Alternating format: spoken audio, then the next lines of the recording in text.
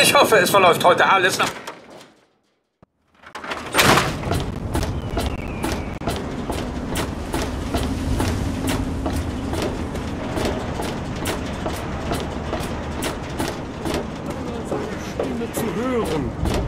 Lasset die Männer, Frauen und Kinder der Erde sich versammeln, um die Macht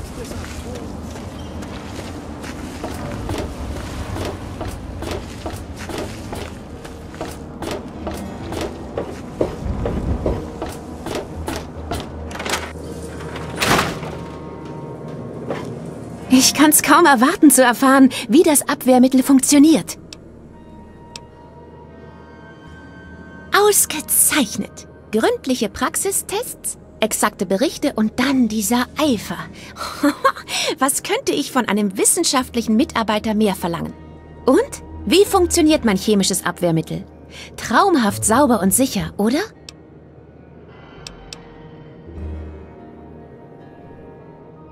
Das ist ja grässlich. Sie sind grässlich. Dieses Zeug ist grässlich. Alles ist grässlich. Oh.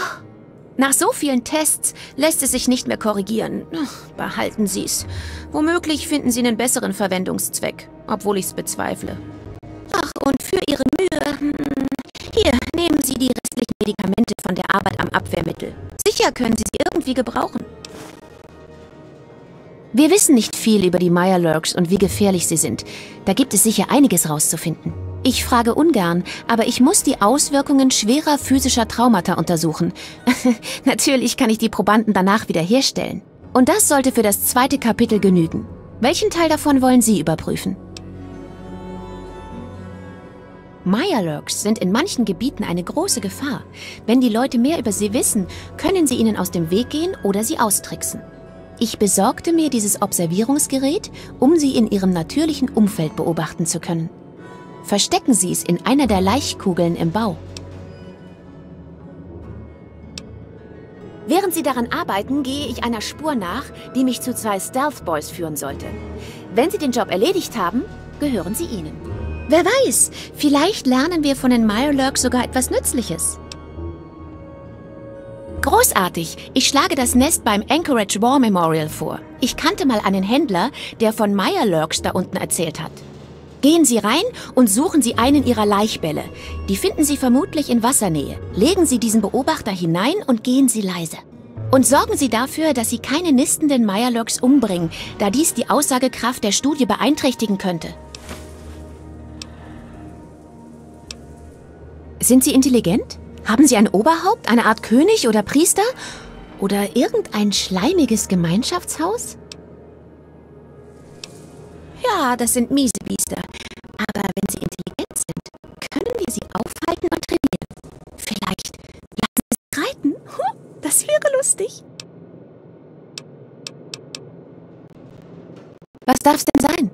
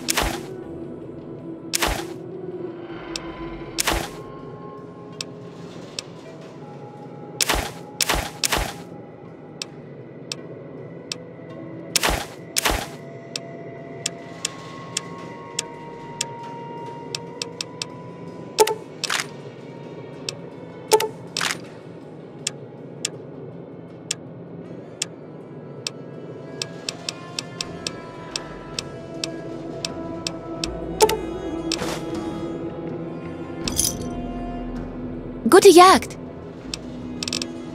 Sterben Sie mir nicht!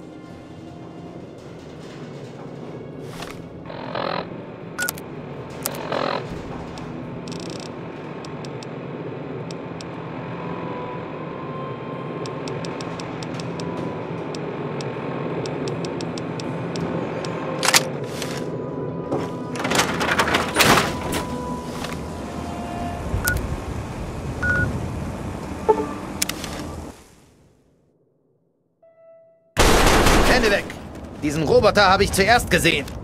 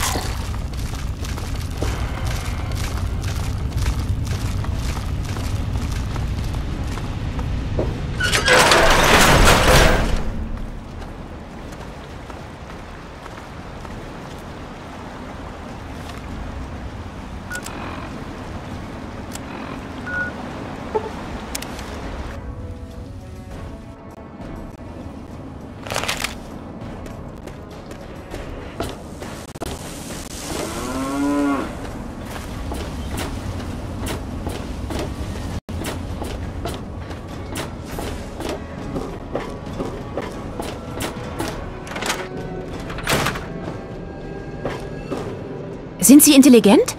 Haben Sie ein Oberhaupt? Eine Art König? Oder Priester? Oder irgendein schleimiges Gemeinschaftshaus? Ich wette, die meisten wären unüberlegt reingestürmt und hätten rumgeballert. Aber Sie nicht. Sie sind der geborene wissenschaftliche Mitarbeiter.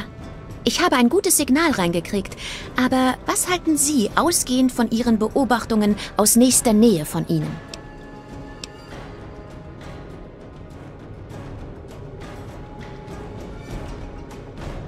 Tatsächlich? Vielleicht werden ihre Anführer wie bei Ameisenköniginnen herangezüchtet. Folgt bei einem Umzug eines Meyerlurks-Königs etwa das ganze Volk? Einige dieser Kommentare hier über ihre Tarnung und Panzerung brachten mich auf die Idee einer verstärkten, neutral gefärbten Kopfbedeckung.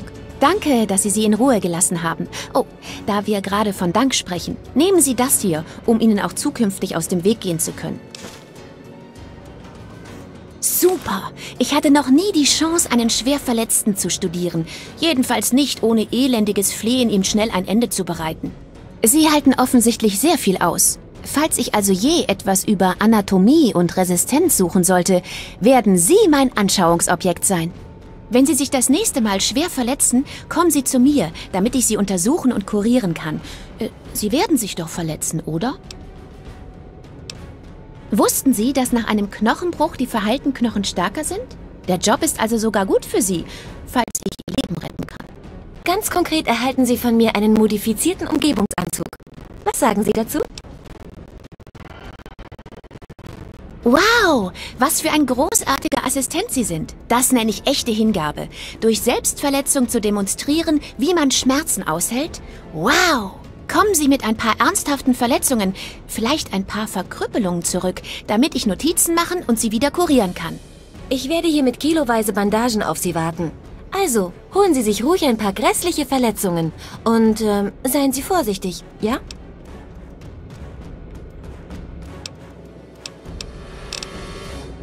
Viel Glück bei Ihrer Feldforschung.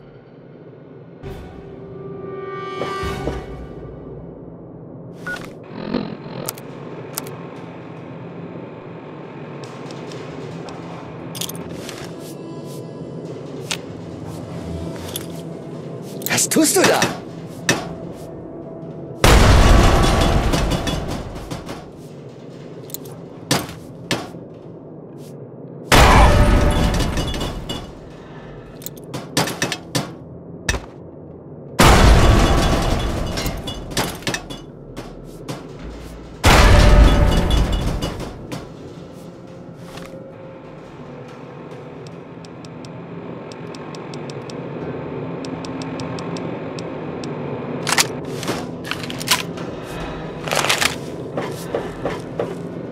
Na, wie geht's? Betrachten Sie das doch nicht als Selbstverstümmelung. Freuen Sie sich auf die kostenlose Behandlung. Sie verletzen sich doch sowieso. Na, wie geht's? Ich weiß, dass es weh tut, aber es dient einem guten Zweck. Versuchen Sie, sich nicht so sehr zu krümmen und zu winden, während ich Notizen mache. Wie würden Sie den Schmerz beschreiben, den Sie spüren? Haben Sie einen Rat, wie man ihn erträglicher machen könnte? Ich frage das für die Nachwelt.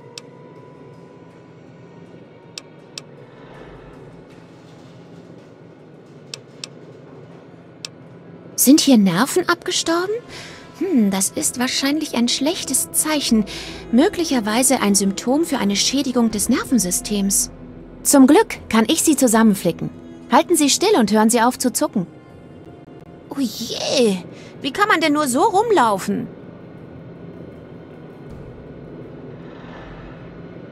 Okay, ich habe Ihnen sogar ein Smiley-Gesicht genäht, um Sie bei guter Laune zu halten, obwohl Sie es nicht wirklich sehen können. Hier, nehmen Sie meinen Umgebungsanzug. Er wird Ihnen beim Verarzten helfen und dürfte auch vor den Auswirkungen der Strahlung schützen. Darauf können Sie wetten. Ihre Beiträge sind genau das Richtige, um dem Buch diesen wilden Touch zu geben. Das Gefühl, dass man alles überleben kann.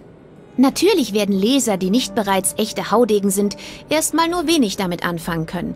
Aber sie werden es mit der Zeit schon lernen.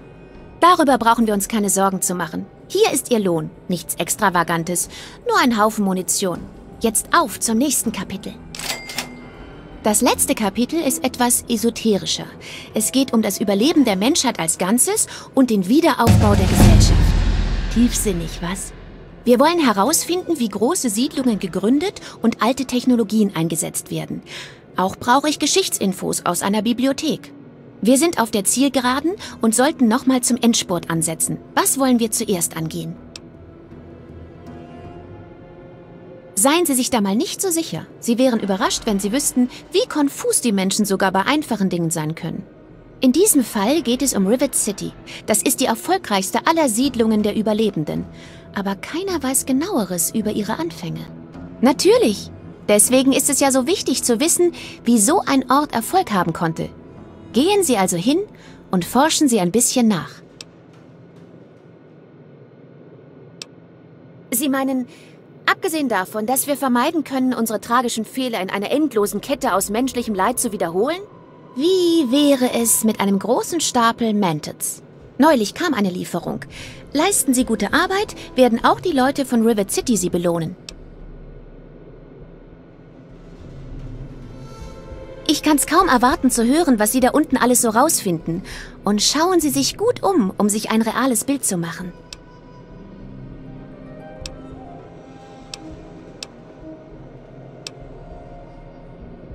Was darf's denn sein?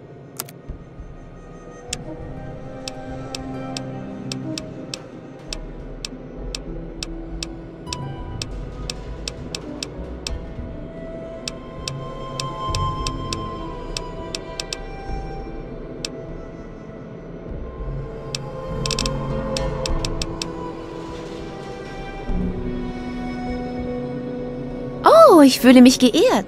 Was hätten Sie denn gern gewusst? Schauen Sie sich doch mal die Welt an, in der wir leben. Für Sie mag sie okay sein, aber ich habe gelesen, wie sie mal war. Und sie ist es nicht mehr. Wir brauchen alle etwas, das uns Mut gibt, trotz der schrecklichen Dinge, die um uns herum passieren. So etwas wie dieses Buch.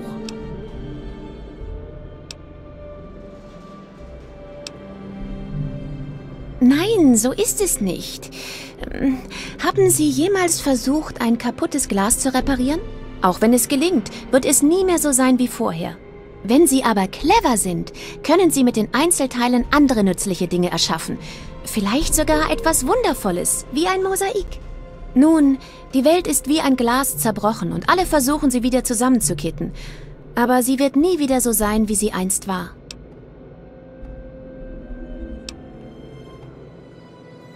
Mag schon sein. Auch andere Leute denken so. Aber liegt es nicht auch in der Natur des Menschen, sich anzustrengen, um die Welt zu verbessern? Bitte, ich will wenigstens versuchen, die Welt zu verbessern. Und ich schaffe es nicht allein. Ich brauche Ihre Hilfe.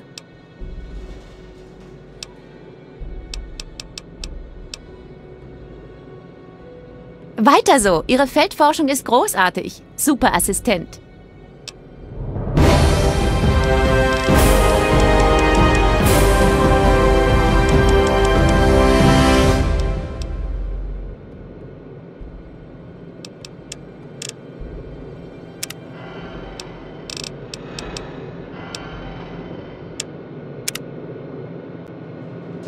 Keine Mätzchen, ja?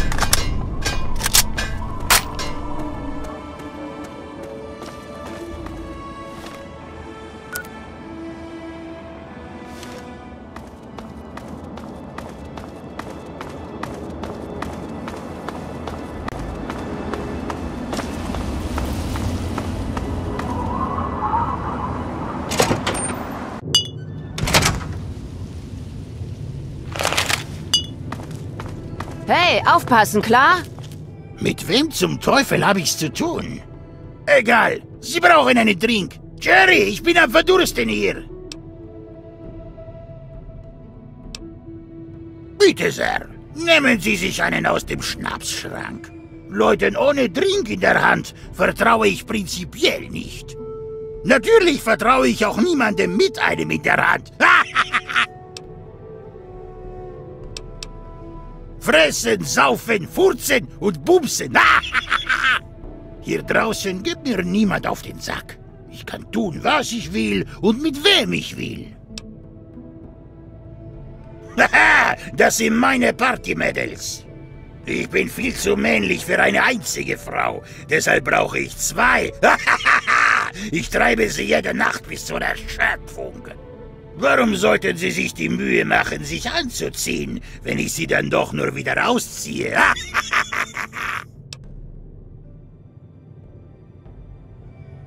hey, passen Sie auf, was Sie sagen, Sie Clown. Ich zahle Ihnen nichts. Sie kümmert sich um mich und darum kümmere ich mich um Sie. Wir kümmern uns die ganze Nacht lang umeinander.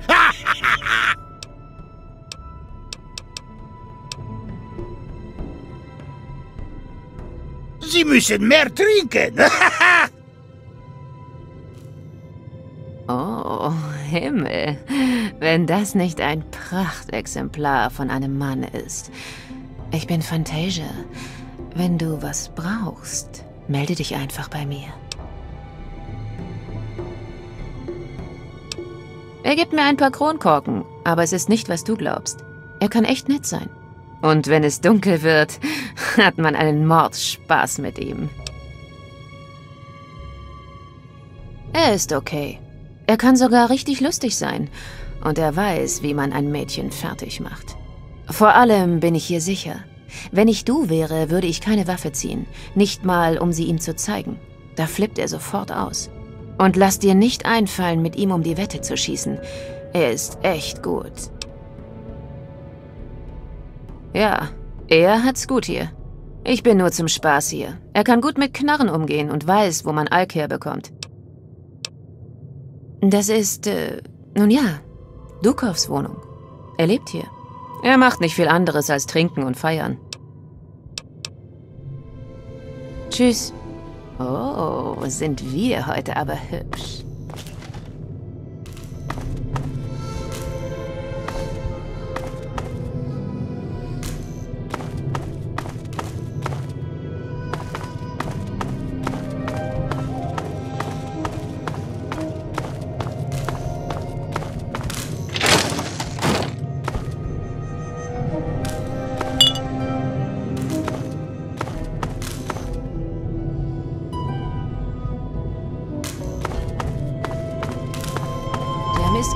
Mich total fertig letzte Nacht. Kannst du versuchen, ihn zu überreden, mir heute Nacht freizugeben? Klar, bin ohnehin ich dran. Nicht, dass er sich daran erinnern oder es ihn interessieren würde. Duki, Schatz, kann deine Fantasia Hallo, die Nacht Schätzchen. frei haben? Fantasia, Baby, du weißt ja... Hallo, Hübscher. Ich bin Cherry. Kann ich was für dich tun? Dukov hat es am liebsten heiß. Mehr Klamotten sind nicht nötig. Er ist ein lüsterner alter Sack. Der einzige Grund, warum ich mir ihn und seine Bedürfnisse überhaupt antue, ist, dass ich hier sicher bin. Er neigt dazu, zuerst zu schießen und dann zu fragen. Zieh ja keine Waffe in seiner Nähe, sonst knallt er dich sofort ab. Und er ist echt gut. Du bist ein Schwein, weißt du das? Ich bin nur hier, weil ich bei ihm sicher bin. Er ist viel härter, als er aussieht. Allerdings weiß ich nicht, wie lange das noch genug sein wird. Warum zum Teufel sollte ich dir vertrauen? Hey, das ist mein Leben, also verpiss dich. Pass auf dich auf, Zuckerschnäuzchen. Dass ich dich am liebsten habe. Heute Nacht brauche ich deine besondere Zeit.